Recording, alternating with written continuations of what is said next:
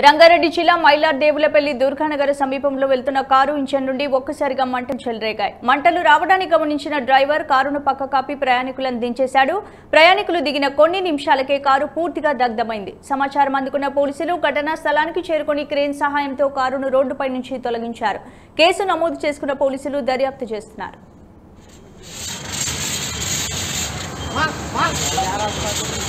अरे डाल लो तो डाल दो भाई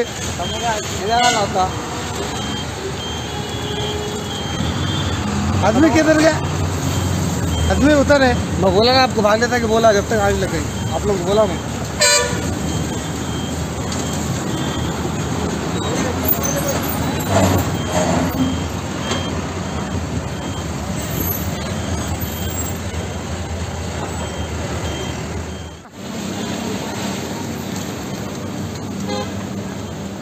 अरे, खत्म हो गया?